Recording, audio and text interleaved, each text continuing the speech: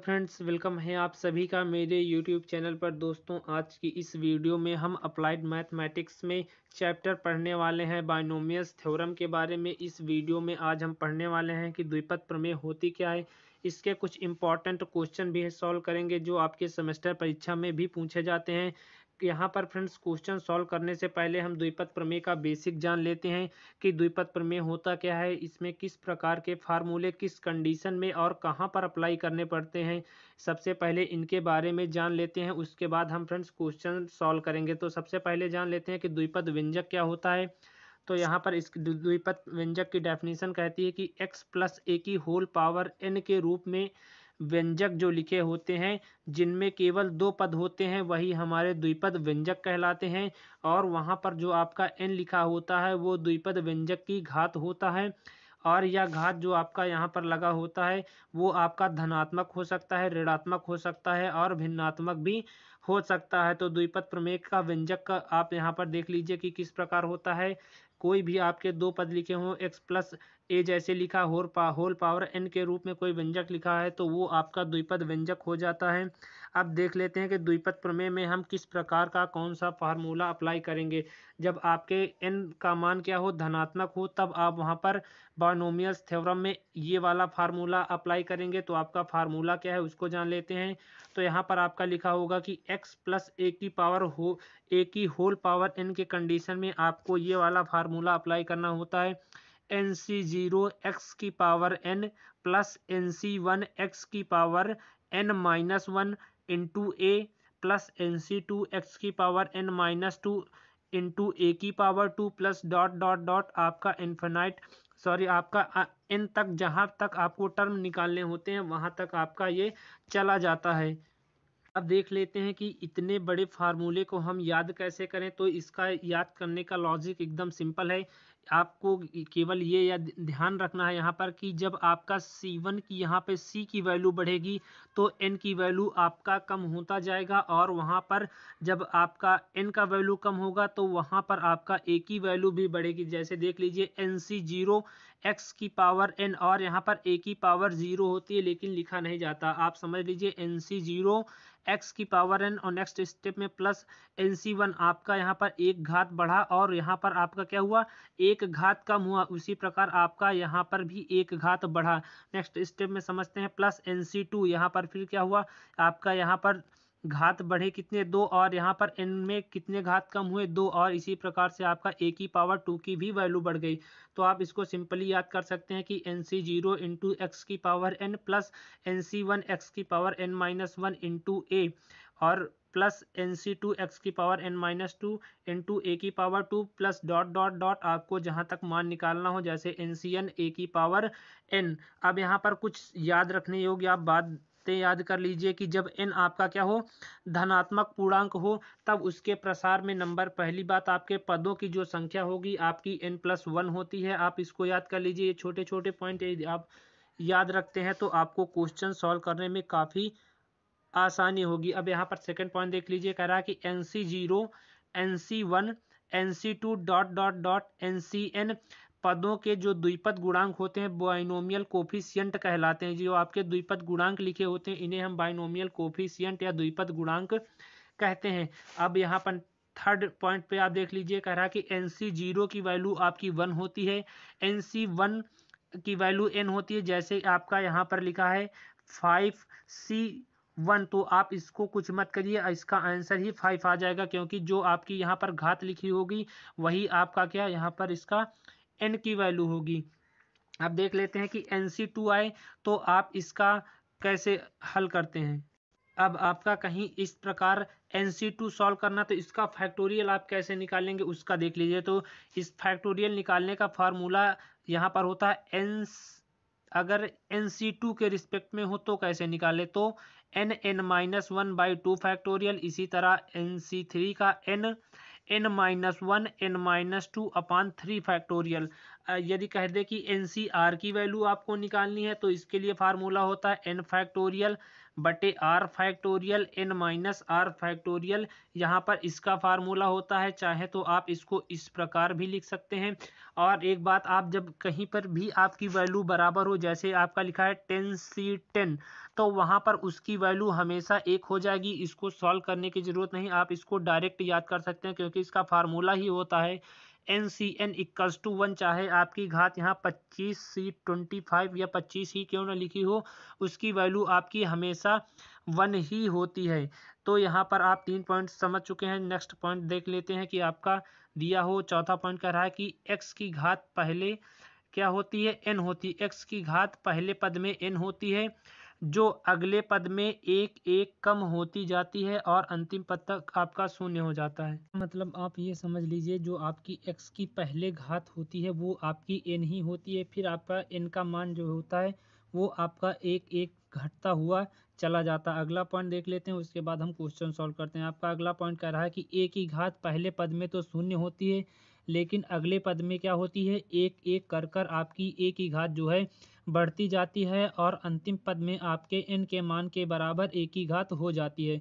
उसके बाद कह रहा है कि प्रत्येक पद में जो एक्स की ए एक्स तथा ए की घात होती है, आपका एन के योग के बराबर होती है। या आप इस प्रकार भी समझ सकते हैं कि जो आपके प्रत्येक पद में एक एक्स तथा ए की घात का जो योगफल होता है, वो आपके एन के बराबर होता है मतलब आपके जो घात भी होती है उसी के बराबर होता है।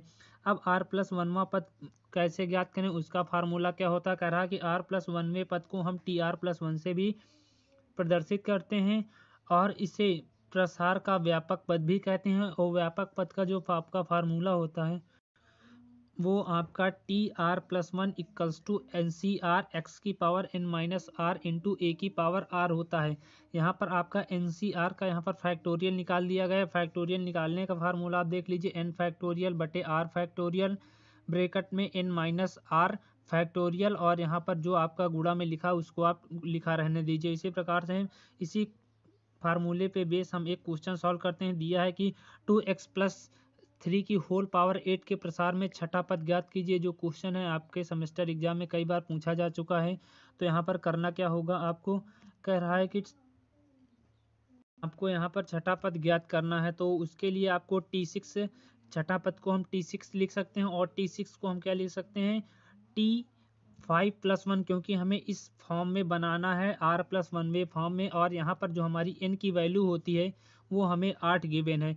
तो इसको बनाने के लिए हमने लिख लिया टी आर प्लस वन मतलब फाइव प्लस वन चाहे टी सिक्स लिखिए या फाइव प्लस वन लिखिए आपका दोनों बात वही होती है। उसके बाद आपने को फार्मूले में रखना है T R plus one equals to जो फार्मूला लगाना है प्रसार का एन सी आर एक्स की power N minus R into A की पावर आर सब मान आपको यहाँ पर दिए हैं, केवल आपको फार्मूले में रखना है। आपका एन का वैल्यू यहाँ पर गिवन है। आर की वैल्यू भी आपकी यहाँ गिवन है। तो रख दीजिए एन की वैल्यू आपने एट रख दी तो एट सी फाइव और यहाँ पर देखिए एक्स की वैल्यू आपको यहाँ पर गिवन है। एक्स की वैल्यू क्या दे रखी है आपकी? यहाँ पर दे रखी है टू एक्स तो यहाँ पर रख दिया एक्स के स्थान पर two X N minus R N की पावर मतलब आठ माइनस पाँच आपका एन की वैल्यू माइनस आर की वैल्यू और इंटू ए की पावर फाइव एक आपका ये होता है, ये आपका एक्स का मान होता है, और ये आपका ए का मान होता है। इसी फार्मूले में जब आप इसको इस प्रकार रख देंगे उसके बाद जब आप इसका फैक्टोरियल निकालेंगे एट सी फाइव का तो इसको अभी मैंने बताया कि फार्मूला होता है N factorial upon R factorial N minus R factorial तो आप एन की जगह आठ रख दिया हमने आर की जगह हमने फाइव रख दिया और यहाँ पर एन माइनस आर मतलब आठ माइनस पाँच फैक्टोरियल इंटू आपका सेम इसी तरह लिखा है। आप इसको घटा लीजिए तो दो टू एक्स की पावर थ्री और थ्री की पावर आपका फाइव आ जाएगा। उसके बाद इसका फैक्टोरियल निकालेंगे तो उसको निकालने के लिए तो आप फैक्टोरियल निकालने के लिए इस प्रकार रखेंगे। जब इसको सॉल्व करेंगे तो आपका आएगा थ्री फैक्टोरियल इस प्रकार का स्टेप बन जाएगा। आपको क्या करना है? इसको कैंसिल कराना है। यदि आप इसको कैंसिल करा देते हैं, इसको फाइव फैक्टोरियल तक आप लाते हैं तो ये कैंसिल हो जाता है। तो हमें कैलकुलेशन कम करना पड़ेगा। तो इसको हम पाँच फैक्टोरियल तक लिख लेते हैं। आठ इंटू सेवन इंटू आपका सिक्स इंटू फाइव फैक्टोरियल तक यहाँ तक आकर रोक दिया, क्योंकि हमारे देखिए नीचे फैक्टोरियल है, ये कट जाएगा तो इससे हमारा ये कट गया और थ्री टू वन इसको आपको इस प्रकार करना पड़ेगा और यहाँ पर टू की पावर थ्री एट हो गया और थ्री की पावर फाइव आपका टू फोर थ्री दो सौ तैंतालीस और एक्स की पावर थ्री होगा। जब आप इसको सॉल्व करेंगे तो आपका आ जाएगा इतना कुछ इस प्रकार आंसर आ जाएगा। तो यही होता है आपका प्रसार का फार्मूला और इसी प्रकार आप ये क्वेश्चन सॉल्व करेंगे प्रसार के यहाँ पर।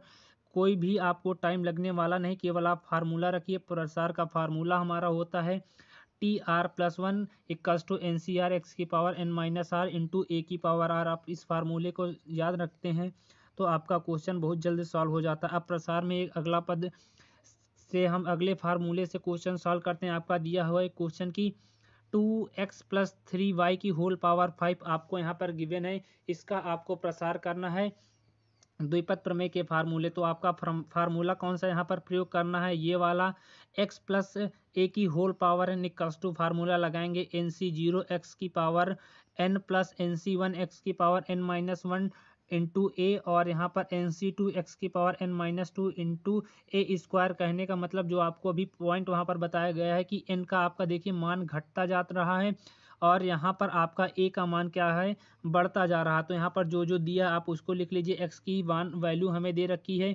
ए की वैल्यू हमें दे रखी है और एन की वैल्यू दे रखी है। तो आपको करना क्या? इस फार्मूले में केवल आपको रखना यहाँ पर रख दीजिए। एन सी ज़ीरो एन की वैल्यू फाइव तो फाइव सी ज़ीरो अब यहाँ पर क्या आ रहा है? एक्स एक्स की वैल्यू हमें पता है टू एक्स और ए जो आपका एक्स की वैल्यू पावर एन होता है तो यहाँ पर एक्स की पावर फाइव प्लस फिर फाइव सी वन एक्स की पावर यहाँ पर फोर हो जाता है, क्योंकि एन माइनस वन आपका आएगा, पाँच माइनस एक आपका चार हो जाएगा और ए की पावर आपकी वन हो जाएगी। तो ए हमने यहाँ पर रखा ए की पावर वन तो हमने यहाँ पर ए की पावर वन लिख ली प्लस फिर लगाया, फिर आपका एन सी टू एन की वैल्यू हमने कहाँ रख दी? यहाँ पर पाँच और सी टू और उसके बाद आप ए की पावर टू रखेंगे तो ए की पावर आप यहाँ पर टू रखिएगा। उसके बाद देख लेते हैं। चलिए एक बार फिर से हम समझते हैं कि हमारा ये जो इतना है, ये आया कहाँ से? तो आपको करना कुछ नहीं है सिंपली आपको क्या करना है? इसी फार्मूले में रखना है। करना कुछ नहीं, आप देखते जाइए क्या किया मैंने। यहाँ पर एन सी टू यहाँ पर आपने वैल्यू रख दी एन की वैल्यू हमारी क्या है? पाँच दी है। तो यहाँ पर रख दी और यहाँ पर एन सी टू अब यहाँ पर सेकेंड टर्म पे आ गए हैं तो एन सी टू और यहाँ पर देखिए एक्स की पावर एन माइनस टू तो एक्स की पावर हमारी दी है यहाँ पर टू एक्स और एन माइनस टू एन की वैल्यू हमने पाँच रखी और और यहाँ पर हमने क्या किया? एन माइनस टू कर दिया तो आपकी वैल्यू आ गई यहाँ पर तीन आ गई, उसके बाद ए स्क्वायर तो यहाँ पर ए की वैल्यू आपकी थ्री वाई दे रखी है तो थ्री वाई का होल स्क्वायर इसी तरह आपको कहाँ तक करते जाना है? इसको आपको एन सी फाइव तक करते जाना है, क्योंकि यहाँ पर जो आपकी जितनी मैक्सिमम आपकी पावर दी रखी रहेगी, आपको उतनी टर्म तक आपका इस, यहाँ पर इसको सॉल्व करते जाना है। तो सिंपली क्या करना है? एन सी थ्री तो यहाँ पर एन की वैल्यू रखी सी थ्री और यहाँ पर एक्स की पावर एन माइनस टू तो यहाँ पर आपका आएगा, दो आएगा, और यहाँ पर ए की पावर थ्री हो जाएगा। फिर आप प्लस एन सी फोर करेंगे एक्स की पावर एन माइनस फोर और ए की पावर फोर प्लस इसी तरह आपका एन सी फाइव एक्स की पावर एन माइनस फाइव और ए की पावर आपका यहाँ पर फाइव हो जाएगा।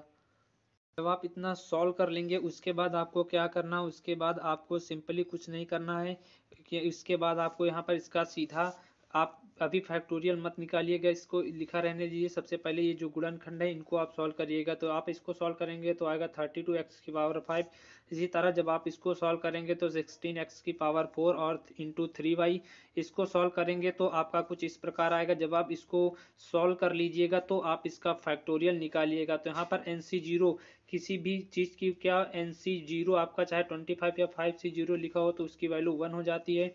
तो यहाँ पर इसकी वैल्यू वन हो गई और यहाँ पर थर्टी टू एक्स की पावर फाइव आ गया। फिर एन सी वन किसी भी चीज़ का मैंने आपको बताया कि अगर क्या एन सी वन लिखा होता है तो उसकी वैल्यू उसकी की जो पावर होती, वही होती है। तो यहाँ पर आपका पाँच आ जाता है। उसके बाद सिक्सटीन एक्स की power four into three Y आप उसी तरह सेम लिख दीजिएगा। उसके बाद जब एन सी टू का आप फैक्टोरियल निकालेंगे तो आपका दस आएगा। आप निकाल लीजिए। उसका फार्मूला होता है एन फैक्टोरियल बता दिया है आपको आर फैक्टोरियल और एन माइनस आर फैक्टोरियल इस फार्मूले से लगाएँगे तो आपका इस प्रकार का आएगा।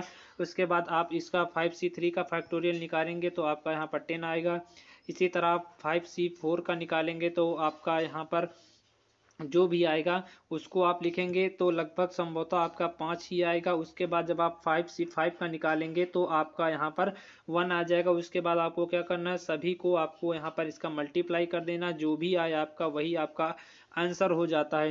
नेक्स्ट क्वेश्चन आपका समझने की, आप हमें यदि भिन्न के प्रकार में दिया रहे तो आपको करना क्या होगा, उसका प्रसार कैसे करें? तो सबसे पहले आपको पहला काम जो करना है कि आपको जो जो वैल्यू दे रखी है, यहाँ पर एन की वैल्यू सिक्स दे रखी है, उससे लिख करेंगे, हमारे पास एक्स की वैल्यू जो दे रखी उसको लिखेंगे और ए की वैल्यू जो हमको दी है, उसको लिखेंगे। उसके बाद आपको करना क्या है? तो ए की वैल्यू जो यहाँ पर आपको दी है सिंपली आपको यहाँ पर आपको निशान सहित जो आपके चिन्ह है, उसके सहित लिखना है। तो यहाँ पर ए की वैल्यू आपकी minus three upon two X दे रखी तो आप वही फार्मूले में रखिए एन सी ज़ीरो एक्स की पावर एन और ए की पावर ज़ीरो तो कोई मतलब नहीं ए लिखने का plus N C one X की पावर एन माइनस वन क्योंकि यहाँ पर सिक्स माइनस वन हुआ तो आपका फाइव आया और ए की पावर आपका वन हो गया plus N C two X की पावर एन माइनस टू मतलब सिक्स माइनस टू और ए की पावर टू आपका फिर बढ़ा ए की वैल्यू यहाँ पर रख दीजिए, और ए की power two plus N C three X की पावर एन माइनस थ्री तो एक्स की पावर हम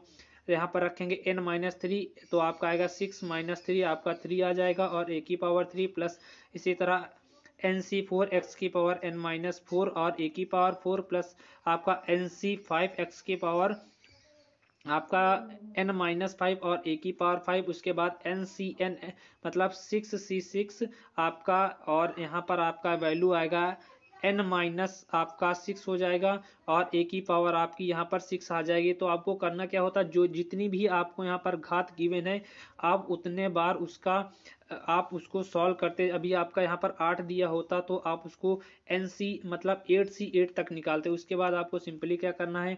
इसका आप डायरेक्ट फैक्टोरियल चाहे निकाल लीजिए, इसका आ जाएगा वन। इसी तरह आप इसका फैक्टोरियल निकाल लीजिए, इसका फैक्टोरियल आएगा आपका पंद्रह। जब आप इसका फैक्टोरियल निकालेंगे तो आएगा आपका ट्वेंटी और इसका फैक्टोरियल निकालेंगे तो आपका यहाँ पर पंद्रह आ जाता है।